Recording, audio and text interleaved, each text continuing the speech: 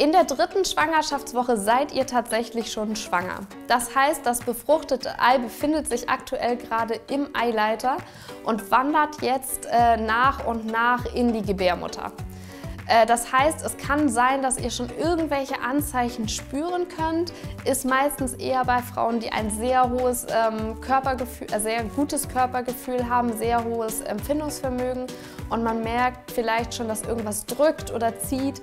Tatsächlich, wenn die Frauen was merken, dann denken sie so, oh, jetzt kriege ich bald wieder meine Tage, weil dieses Gefühl von Völlegefühl oder aufgebläht sein und so ein Ziehen in der Gebärmutter, das unterscheidet sich meistens nicht wirklich sehr davon.